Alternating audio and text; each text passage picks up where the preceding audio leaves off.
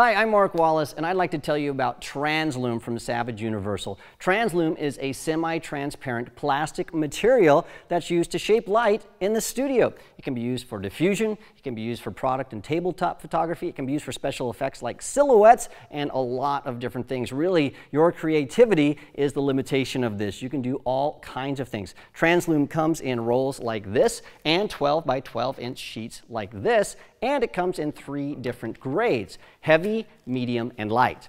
Now light is if you want a nice fall off, a gradient on your diffusion, but you still want a little bit of a highlight. Medium is the go-to to do everything in this studio. You can use that for high key backdrops, for diffusion, and all of that light shaping stuff. And the heavy material is used for tabletop and product photography, so you can make sweeps and things like that out of it, or if you want maximum diffusion.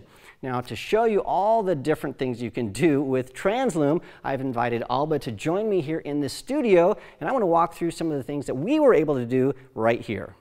To show you just how versatile Translum is, I'm using a single sheet of medium weight Translum suspended from a background support system. Behind the Translum, we have a single studio strobe. Now that strobe is going to illuminate this, and we can do three things with a single setup. The first thing we can do is use this as a giant softbox for beautiful soft light portraits. The second thing we can do is to use that same light to illuminate this and make it perfectly white for high key portraits. And then last, we can use that same light, the same Translum, to do silhouettes. But what we want to start with are these beautiful portraits. So I've asked Alba to join us. Now that backlight is going to illuminate this whole thing. And so Alba is actually going to face this Translum. And that light is going to give us some beautiful soft light on her face. And we will get spectacular portraits. So let me show you exactly how that looks.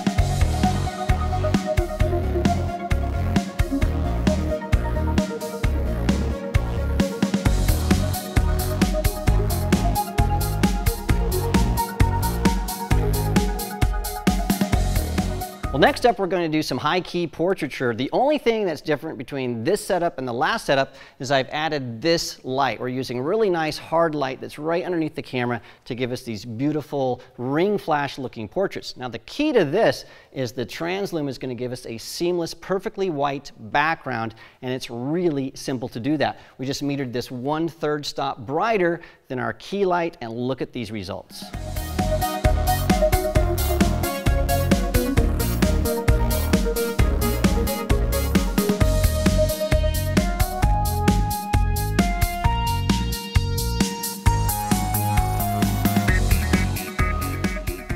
Now the third shot in this setup is very simple. We're gonna do some silhouettes. I've asked Alba to come behind the Translum. She's right here. And then we still have our same light that we've used before with the soft diffusion setup. Now the nice thing with this, I'm gonna be shooting on this side. The key to this is the distance that Alba is from the Translum. If she's really close, we get really nice sharp shadows, and if she pulls away, we get softer shadows. So we can really play with that to get some different effects. We shot that, and here are the results.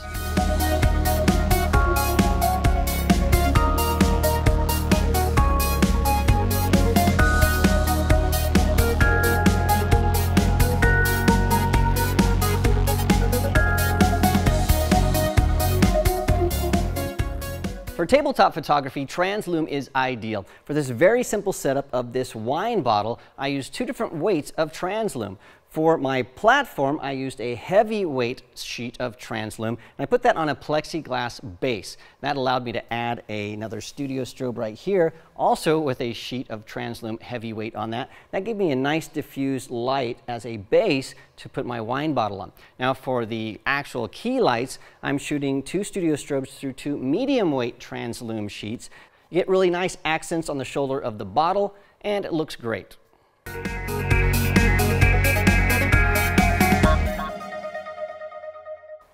In this setup, I used a single roll of lightweight Translum to create some really soft light. It was simple. What I did was I took the roll and I just clamped it to four light stands, and that created these three sections. And behind those three sections, I used a single studio strobe, and that gives us this really nice diffused soft light that surrounds Alba. But the nice thing about this lighting setup is each of these sections has this hot spot and that creates these amazing catch lights in her eyes. So we get the benefit of soft light with the benefit of specular highlights that you'd normally get with hard light, and it's all from a single setup that's really flexible. We shot a lot with this yesterday, and here are the results.